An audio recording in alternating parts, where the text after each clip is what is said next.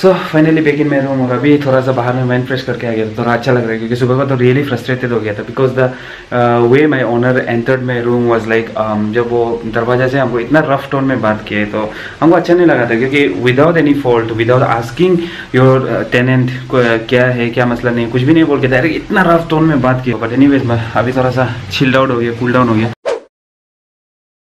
सुबह सुबह तो दिमाग का मेरा बत्ती गुल हो गया बिकॉज़ अभी भी मेरा रेंट का ओनर आया था और मेरा जो एक्चुअली के सील फ्लोर तो ये फ्लोर में जब वाटर हो जाते तो इसको मूछने के लिए हम जो कपड़ा रखते हैं तो ऑफकोर्स वो कपड़ा तो गंदा होगा। सो समवेयर है to hang it right I keep it here I use to keep it here she came and without even asking me उठा के फेंक दिया।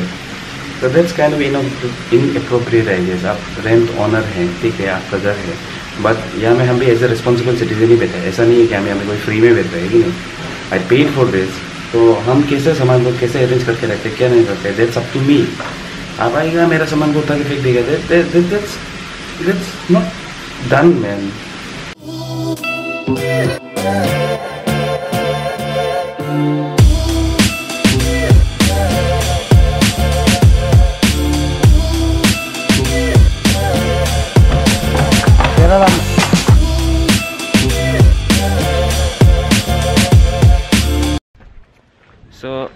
this is the staff selection board का जो ऑफ़िस है ये है। और हम यहाँ में क्यों आया था? I will tell you in the short while actually थोड़ा हम लोग रश में हैं। That's why I could not speak over there और यहाँ में आने समय भी हम बोल नहीं पाया था। And for those don't know यहाँ में एक बैडमिंटन कोर्ट भी है। Just in case if you want to get some queries यहाँ में आपके आप पूछ लो यहाँ में जिसको बैडमिंटन इंटरेस्ट है। क्योंकि यहाँ में बहुत आदमी लोग बैडमिंटन बैडमिंटन वाला ढूंढते रहते हैं। तो यहाँ में एक है बैडमिंटन कोर्ट वाह ये जिसका भी घर है मैसिव यार। इसका रिटेनिंग वॉल्स देखो ना। ओ माई गॉड तो अभी हम अपना फ्रेंड का रूम जा रहा है and then we will talk over there कि ए पी में हम लोग क्या करने गया था। You will get to know about it soon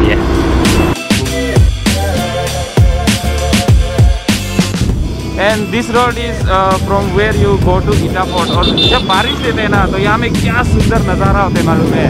पूरा क्लाउड क्लाउड होकर इतना फ्रेश लुक होता है ना यहाँ से देखने के लिए। बारिश में बहुत सुंदर होता है कसम। गांधी मार्केट में आ गया एटीएम से थोड़ा पैसा निकलने क्योंकि हमें कैश का बहुत प्रॉब्लम हो रहा है आजकल। जब से वो कैब के लिए प्रोसेस वोसेस शुरू हुआ है स्पेशली आसाम से जब से बंद डिक्लेयर हुआ है तब से यहाँ में कैश का बहुत प्रॉब्लम इवन पेट्रोल का भी। क्या? यहाँ से नहीं लेगा? नहीं मत लो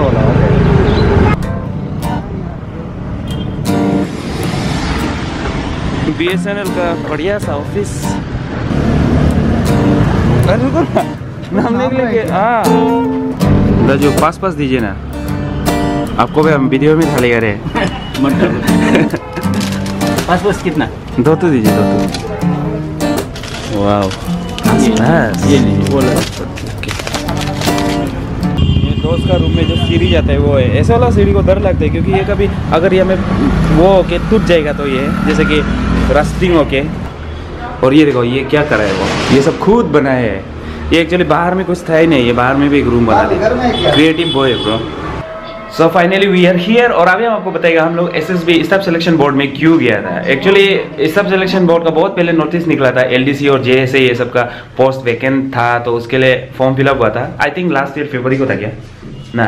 तो फरवरी में हम लोग फॉर्म फिलअप किया था तो उसमें क्या हो गया था कि थोड़ा टेक्निकल इश्यूज़ था, जिसका वजह से अभी वो लोग रिसेंट नोटिफिकेशन में अपने डॉक्यूमेंट्स को रीवेरीफाई करने के लिए बोले। तो रीवेरीफिकेशन में हम लोग लॉग नहीं कर सक रहा था। मेरे फ्रेंड का लॉग का प्रॉब्लम हो रहा था, लेकिन मेरा क्या हो रहा था क्या मेरा मेरा कुछ नोटिफिकेशन नहीं आया था। मेरा पैसा से जब जमा हो गया था। तो वी वेन देयर एसएसबी में जाके ये सब का बारे में उधर पूछा है एंड देन वहाँ में सॉर्ट आउट हो गया। इसका भी वो जो प्रॉब्लम था। इट्स ए गुड थिंग तो आप लोगों का किसी का अगर ऐसा टेक्निकल इश्यूज़ है, जिसमें लॉगिन नहीं हो रहा है, या फिर कुछ आपका प्रॉब्लम हो गया है एलडीसी या फिर जेएसए का, या फिर कोई भी एसएसबी का जो भी एग्ज़ाम का आप भरा है तो आप एसएसबी का ऑफ़िस में जाइए, उधर बात कीजिए कंप्यूटर सेक्शन है वहाँ में। हमें वो लोग सॉर्ट आउट ज़रूर कर देगा।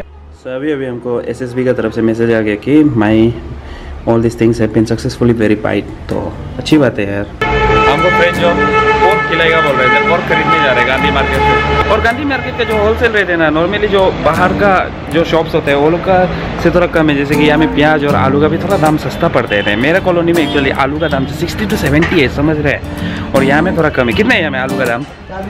और देखो तो यहाँ में forty rupee forty fifty rupees है। और मेरा कॉलोनी में सिक्सटी हाइट से रही और अगर आप लोग मेरा सिल्क फॉर्म खाने वाला वीडियो देखा होगा जहाँ मैं हम सिल्क फॉर्म फ़र्स्ट टाइम का ट्राई किया था वो एक्चुअली हम ये मार्केट से लिया था यहाँ यहीं से कहीं से लिया था।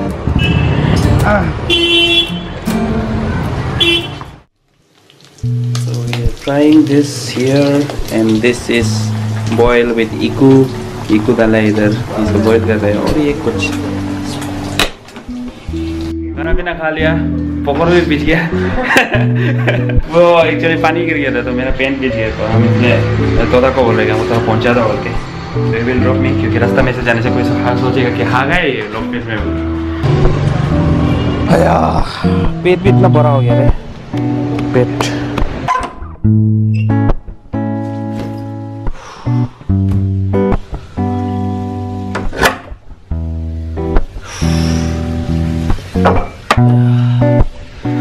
So finally back in my room और अभी थोड़ा सा बाहर में माइंड फ्रेश करके आ गया था थोड़ा अच्छा लग रहा है क्योंकि सुबह का तो रियली फ्रस्ट्रेटेड हो गया था because the way my owner entered my room was like जब वो दरवाज़ा से हमको इतना रफ टोन में बात किए तो हमको अच्छा नहीं लगा था क्योंकि without any fault without asking your tenant क्या है क्या मसला नहीं कुछ भी नहीं बोल के डायरेक्ट इतना रफ टोन में बात किया। हमको बोल रहा था कि आप कचरा uh, कले पीछे में रखें फिर मेरे इधर तो आप देखो कचरा भी नहीं है the thing only I keep here is ये एक्चुअली मेरा गैस सिलेंडर है जो कि खाली है ये छोटा वाला गैस सिलेंडर है ये, और ये हम जैसे प्लांटेशन करके रखे और ये आई केप दिस ये कार्टून बॉक्स हमें हमें रखा हुआ है, क्योंकि कार्टून बॉक्स कभी कभी काम आ जाता है। तो एनी वेज यार तो सुबह को थोड़ा वो सबको लेके थोड़ा सा और तो लग गया था, क्योंकि मतलब इतना रफ टोन में बात कर रहा था ना विद जबकि मेरा कोई गलती भी नहीं था। तो शायद उनका कुछ किसी का साथ थोड़ा आर्गूमेंट या फिर कोई उनको कुछ बोला होगा।